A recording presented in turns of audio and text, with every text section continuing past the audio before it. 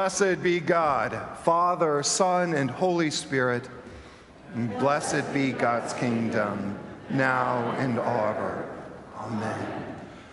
Arise, shine, for your light has come, and the glory of the Lord has dawned upon you. Violence will no more be heard in your land, ruin or destruction within your borders. Your gates will always be open by day or night they will never be shut.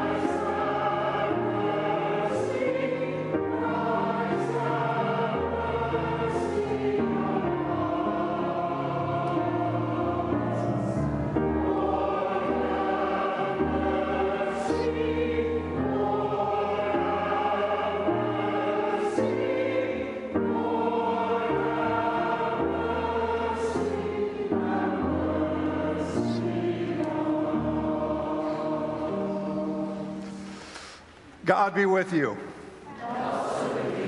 Let us pray. Almighty God, by the hand of Moses, your servant, you led your people out of slavery, made them free at last. Grant that your church, following the example of your prophet Martin Luther King, may resist oppression in the name of your love, may secure for all your children the blessed liberty of the gospel of Jesus Christ who lives and reigns with you in the Holy Spirit, one God, now and forever. Amen. Almighty God, whose Son, our Savior, Jesus Christ, is the light of the world, grant that your people, illumined by your word and sacraments, may shine with the radiance of Christ's glory, that he may be known, worshiped, and obeyed to the ends of the earth. Through Jesus Christ our Lord, who with you and the Holy Spirit lives and reigns, one God, now and forever. Amen.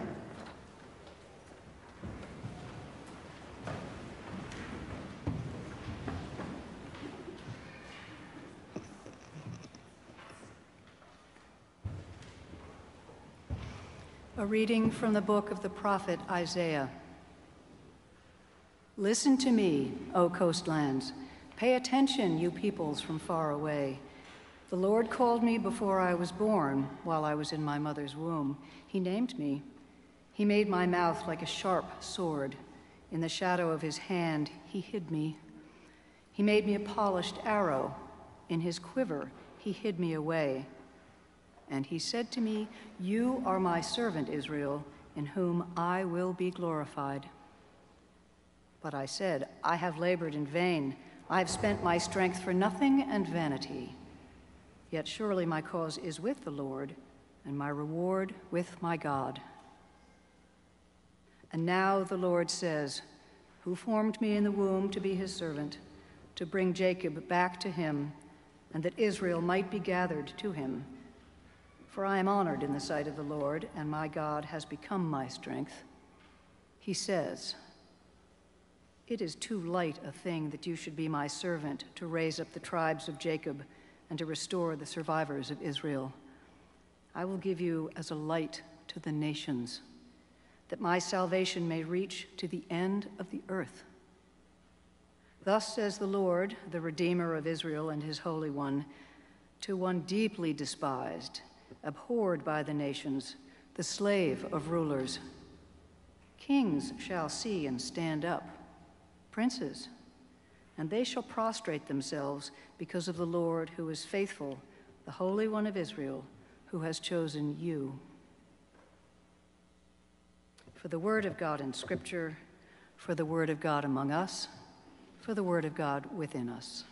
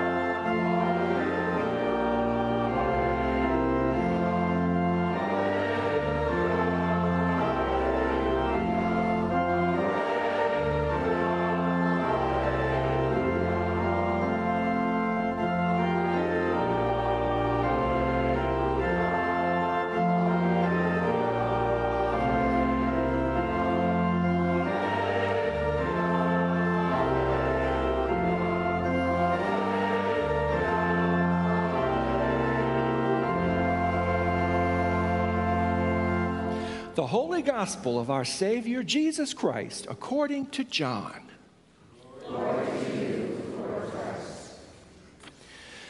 John saw Jesus coming toward him and declared, Here is the Lamb of God who takes away the sin of the world. This is he of whom I said, After me comes a man who ranks ahead of me, because he was before me. I myself did not know him, but I came baptizing with water for this reason, that he might be revealed to Israel. And John testified, I saw the Spirit descending from heaven like a dove, and it remained on him. I myself did not know him, but the one who sent me to baptize with water said to me, He on whom you see the Spirit descend and remain is the one who baptizes with the Holy Spirit. And I myself have seen and have testified that this is the Son of God. The next day, John again was standing with two of his disciples. And as he watched Jesus walk by, he exclaimed, Look, here is the Lamb of God. The two disciples heard him say this, and they followed Jesus. When Jesus turned and saw them following, he said to them, What are you looking for? They said to him, Rabbi, which translated means teacher. Where are you staying? He said to them, Come and see. They came and saw where he was staying, and they remained with him that day. It was about four o'clock in the afternoon. One of the two who heard John speak and followed him was Andrew, Simon Peter's brother. He first found his brother Simon and said to him, We have found the Messiah, which is translated anointed. He brought Simon to Jesus, who looked at him and said, You are Simon, son of John.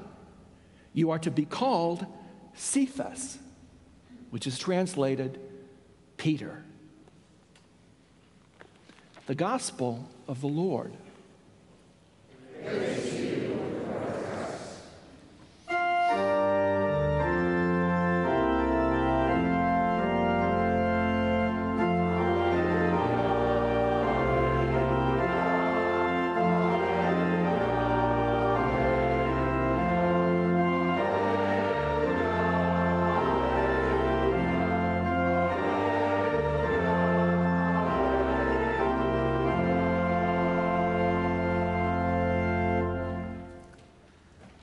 I speak to you in the name of the one holy and living God. Amen.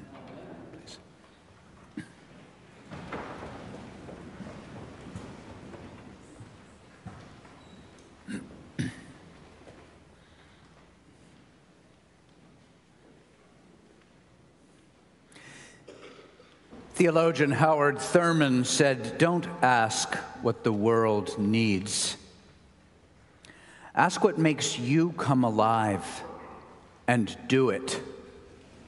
Because what the world needs is people who have come alive.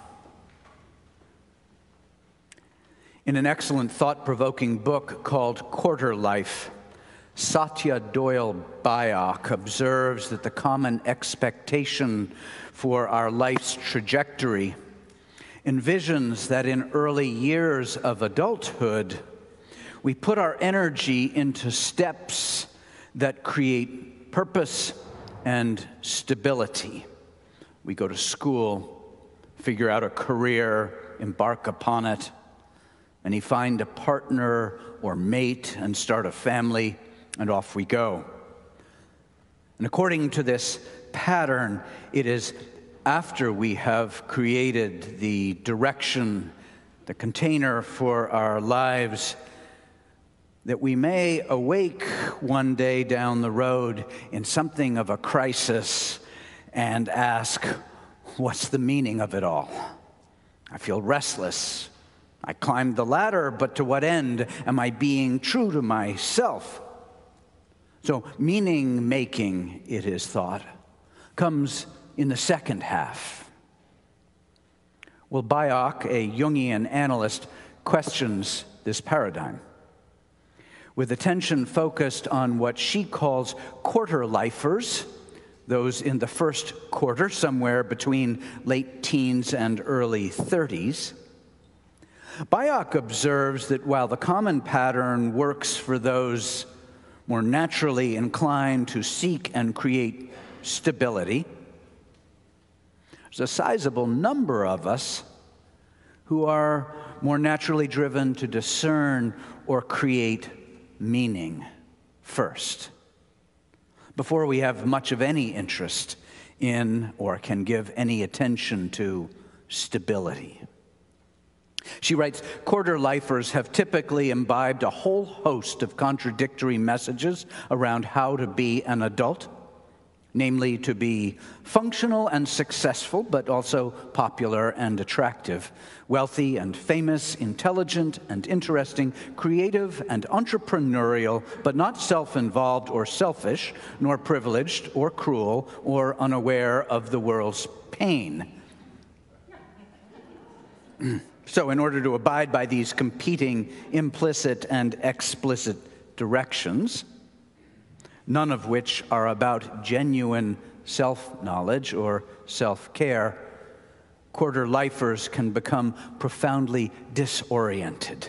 In contrast, the more that quarter lifers explore the information of their bodies and histories, their old traumas and stress, and their own points of desire and longing, the more they'll learn to hear what their hearts know about their future.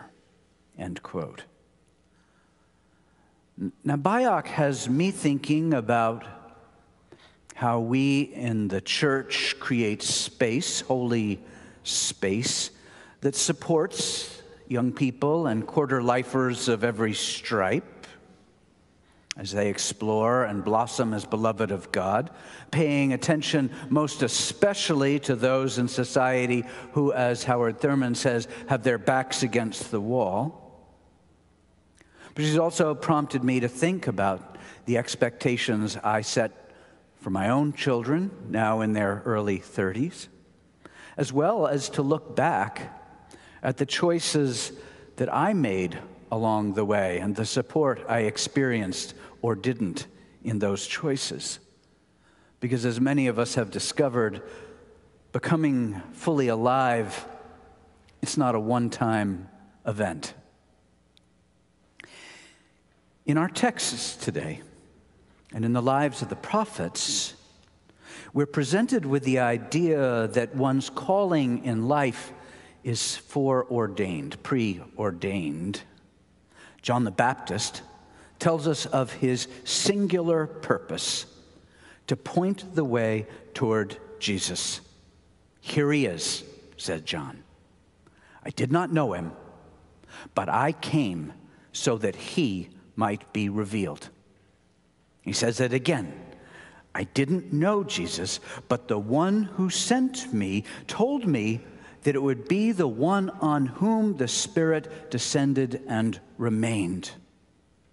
And again, John said to others, Here he is. And two who heard, Andrew and Peter, followed Jesus. John's calling in life was to point the way to Jesus. He was born for this, he died for this.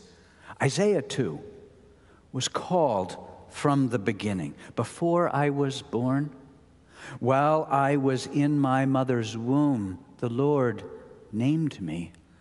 And then gives us this beautiful, tender image as a polished arrow in his quiver, the Lord hid me away. But now Isaiah's calling and purpose is expanding. It is not enough that you raise up the tribes of Judah and Israel. I will give you as a light to the nations, that my salvation may reach to the end of the earth.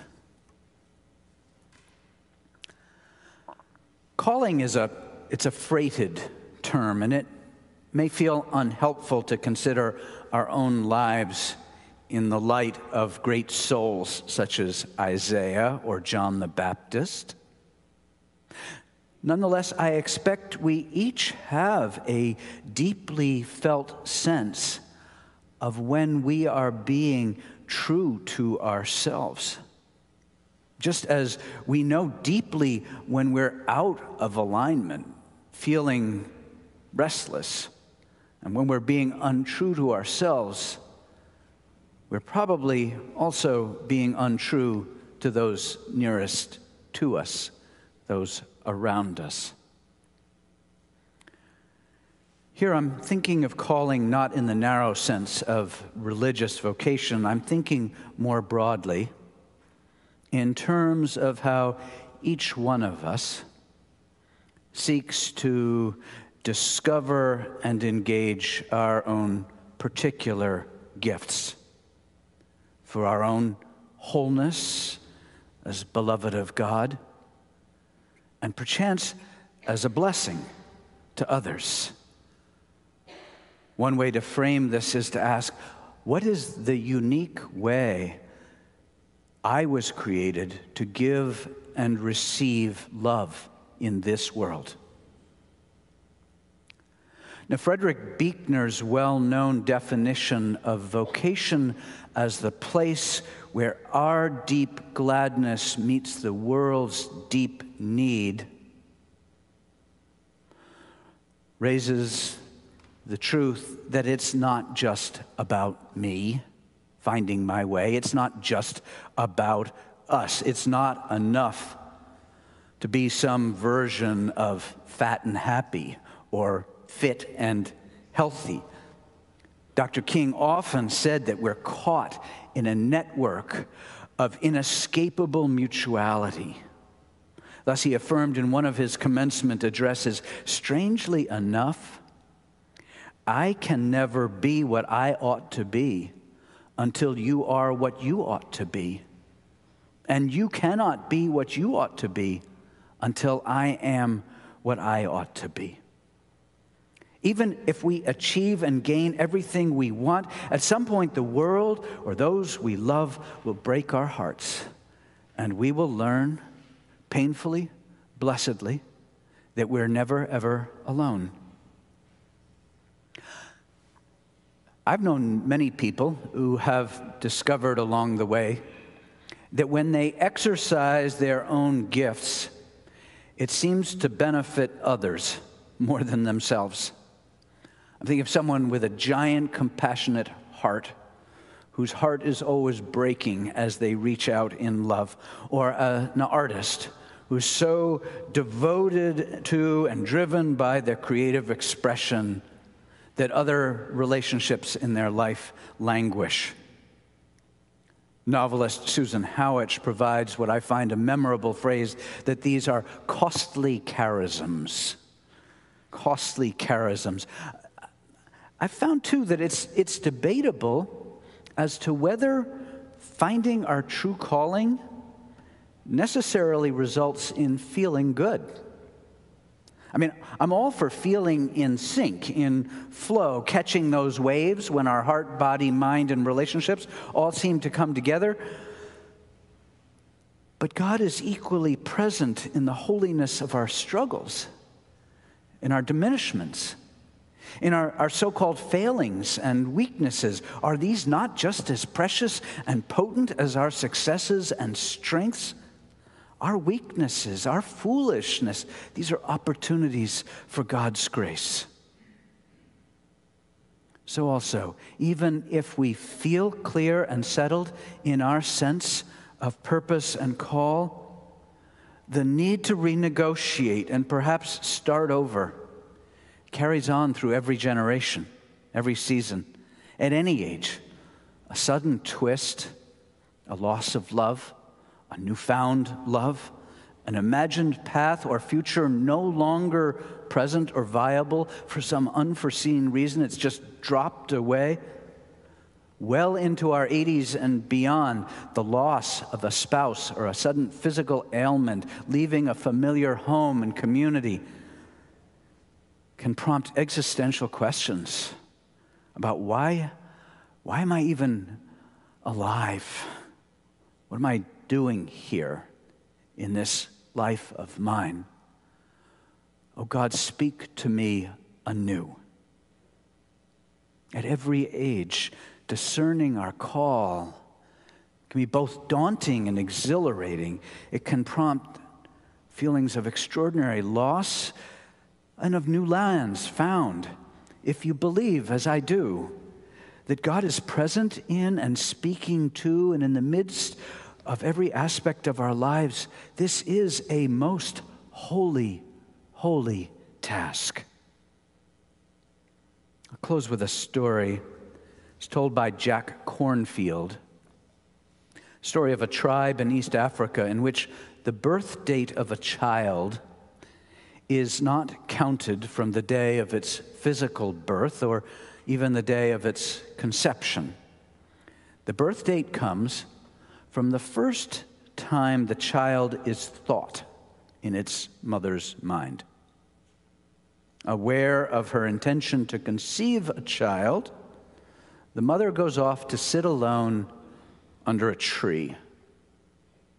And there she sits and listens until she can hear the song of the child that she hopes to conceive. And once she has heard it, she returns to her village and teaches it to the father so that they can sing it together as they make love, inviting the child to join them. And after the child is conceived, she sings it to the baby in her womb.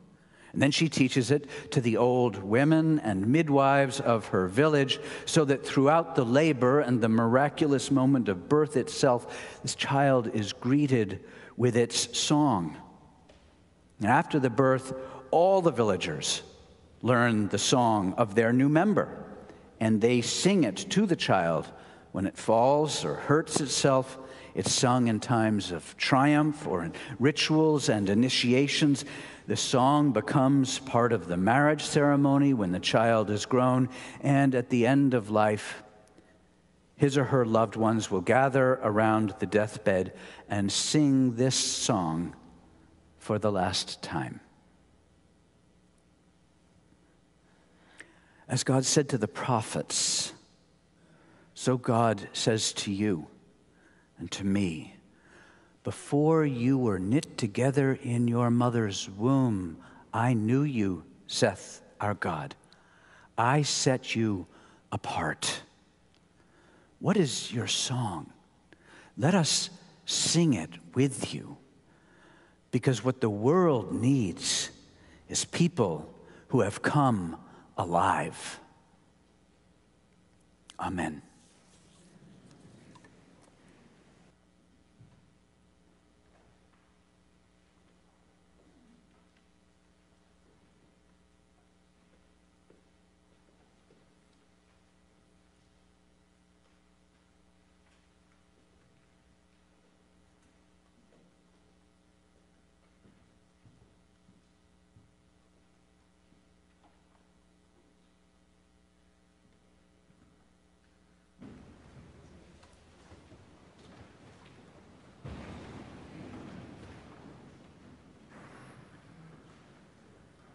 We believe in one God, the Father, the Almighty, maker of heaven and earth, of all that is, seen and unseen. We believe in one Lord, Jesus Christ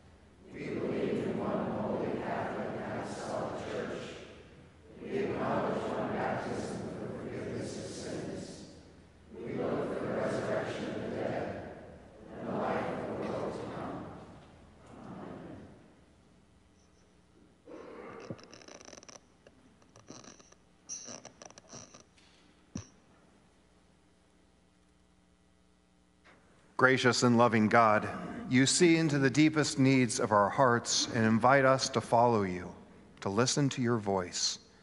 Receive our prayers as we call upon you. Loving one, you visit us in friendship and invite your church to be generous and hospitable, neighbors to all. Fill us with your grace, that we may be a community of kindness and compassion.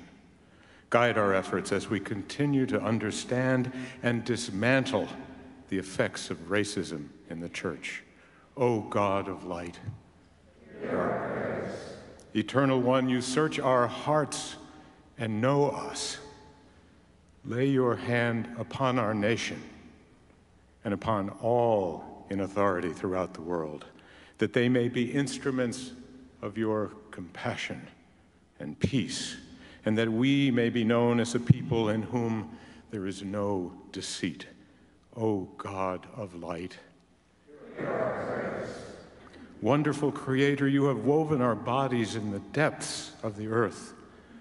Look upon the needs of a suffering world and bless all humanity, that your healthful spirit and presence may do marvelous works for the relief of the world. O God of light, good and holy God, you fashion our lives day by day in your spirit. Increase in us your vision that we may see your hand at work in our community. O God of light.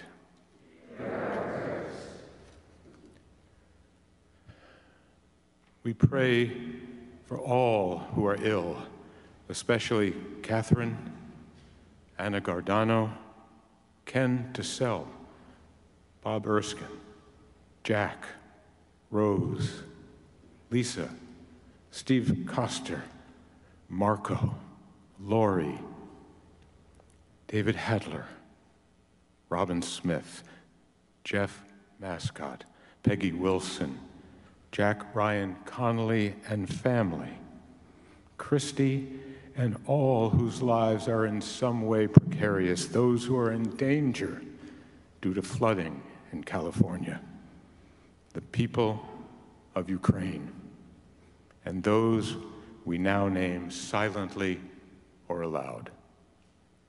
O God of light,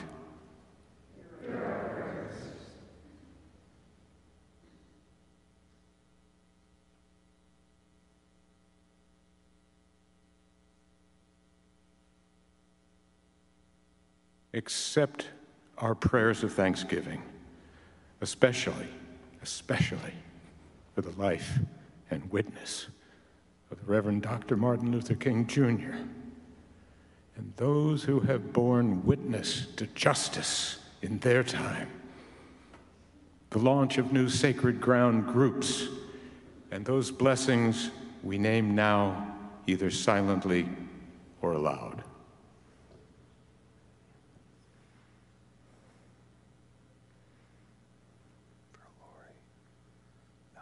God of light, hear our prayers. Welcome into your beloved community those who have died. We pray especially for Mary Louise Belts, Charlie Jeffress, Ernestine Latimer, Norma Drew, Ted Beatty, Nate Kelleher, Joe Beach, Richard Weekman, Linda Bowden Lowe, and those we now name, either silently or aloud.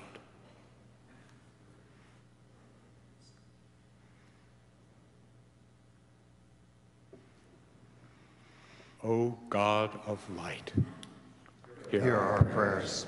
Gracious and loving God, we come before you with no gifts but ourselves. Accept and receive our lives that we may be tr- manifestations of your presence.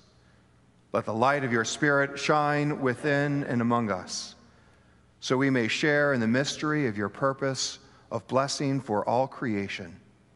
Through Jesus Christ, our Savior. Amen. Let us confess our sins against God and our neighbor.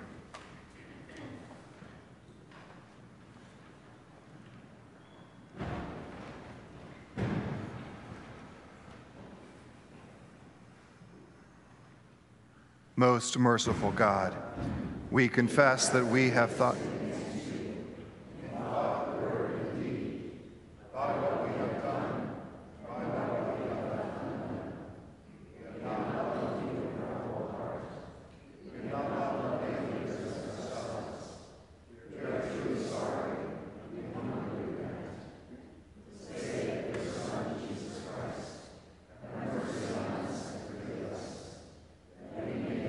in your will, walk in your ways, to the glory of your name.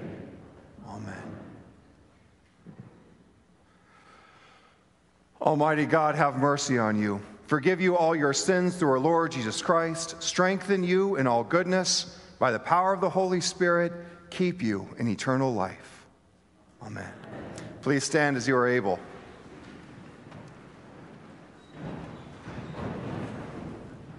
The peace of Christ be always with you.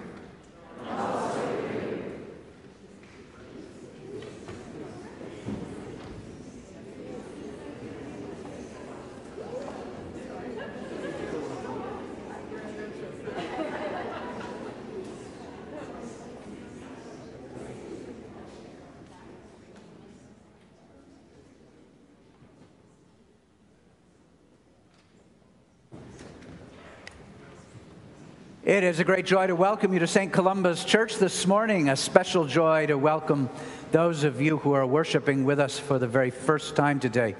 If you're here for the first time, thank you for joining us. We're really glad that you are here. Please help us welcome you by taking a moment now and fill out one of the welcome cards that you'll find in your pew, and you can place that in the offering plate as your gift to us today.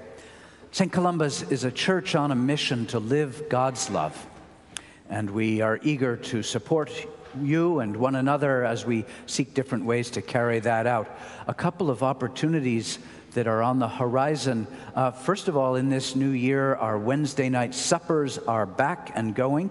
Please join us. Please bring a friend.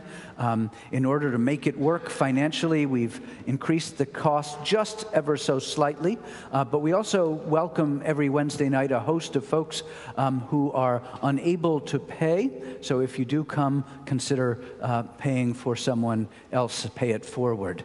Um, also, I commend to your attention in the little insert, the connections insert, uh, two opportunities coming up. Uh, one is that the film being showed this Friday evening by Stirring the Waters. Um, take a look at that and join us for that. And also an invitation to those who may like to participate in one of our sacred ground circles. Uh, this is an offering that's been created by the Episcopal Church. Uh, small group gatherings, many of us have already had a chance to do it with reading and video and conversation about the place of race and racism in our lives, in our church, in our nation. I commend those to you. Lastly, if you're interested in exploring um, the life of the Episcopal Church, or St. Columba's in particular, uh, join us on Wednesday evenings for an Inquirer's class. But now let us walk in love as Christ has loved us and given himself for us a gift and sacrifice unto God.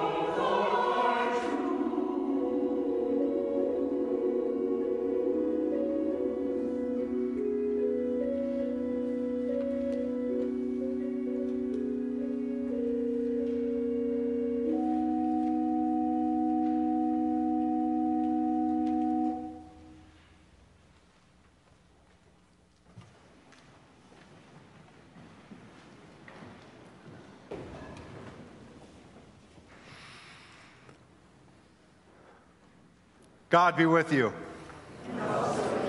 Lift up your hearts. Let us give thanks to our sovereign God. God of all blessing, we thank you for always making us in your image to serve the peace of all creation. You shared your name with our mothers and fathers, Sarah and Abraham, who left their home and became a blessing to all nations. Moses and Miriam, who went through sea and wilderness to the place of revelation. Deborah and Samson, who gave hope and justice to a people ruled by fear. Ruth and Jonah, who went to foreign soil and found a God who loves the stranger. From our ancestors in faith came Jesus, the Son of promise, to fulfill the law, embody your love, and draw all people to himself. He accepted death to break its fearful hold, He was raised to life to share it in abundance. He comes again to break the bread and pour the wine of hope. Therefore, with all people whose story you have shaped, with women and men of faith in every part of the world, we glory in your generous love and sing and praise to you.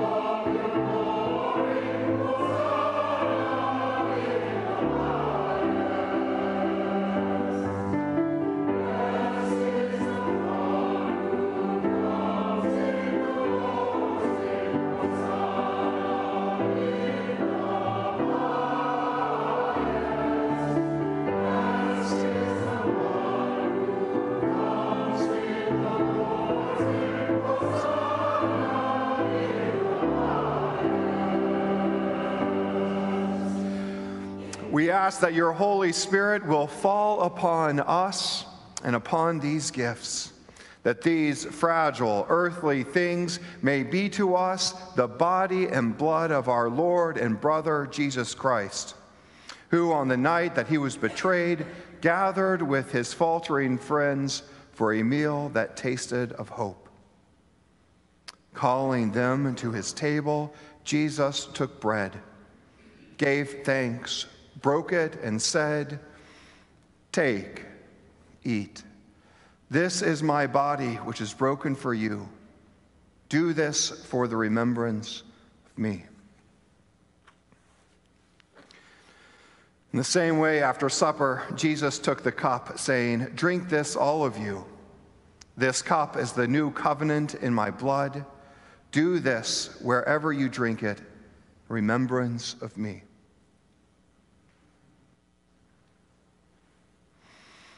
And so on that night, so here and now, Jesus offers all that he was, all that he is, all that he will be. Great is the mystery of faith. Christ has died, Christ is risen, Christ will come again. Therefore, we come in memory and hope, responding to your call and the promise that echoes from the dawn of all time. May mind and heart be held by your self giving love as we stand before the cross, approach the empty tomb, and praise the one whose name is lifted high above all earthly power. Receive our broken offerings through your never ending grace and bind us in communion with all who share your gifts. Through Almighty God, in whom from the beginning of time, through the great expanse of space, all things are drawn into the ceaseless love of Father, Son, and Holy Spirit. Amen. Amen.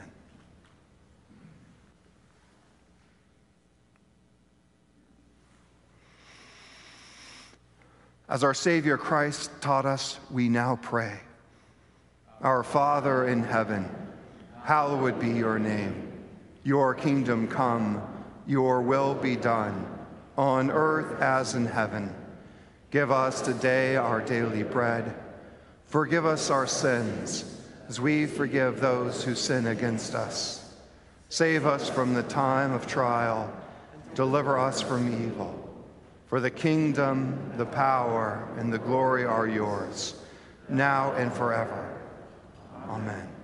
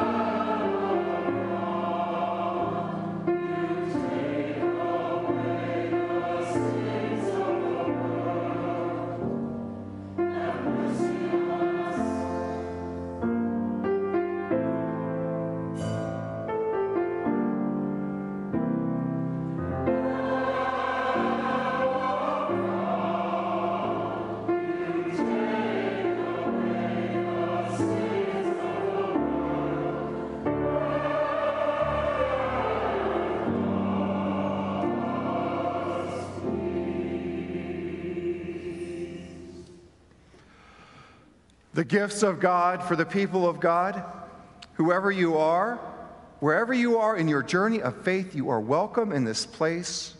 You are welcome at God's table.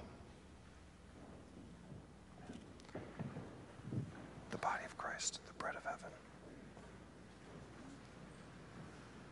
The blood of Christ, the cup of salvation.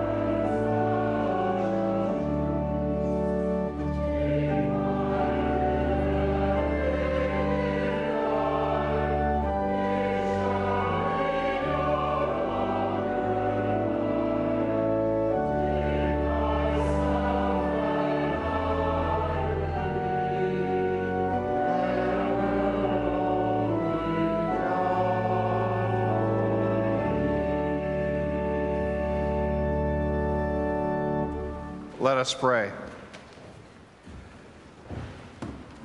Eternal God, you have graciously accepted us as living members of your Son, our Savior, Jesus Christ. You have fed us with spiritual food in the sacrament of his body and blood. Send us now into the world in peace. Grant us strength and courage to love and serve you with gladness and singleness of heart. Through Christ our Lord. Amen. May Christ's bright star enlighten your mind and heart as you strive for equality, justice, and kindness in the world. And the blessing of God Almighty, the Father, the Son, the Holy Spirit be among with you and remain with you always. Amen.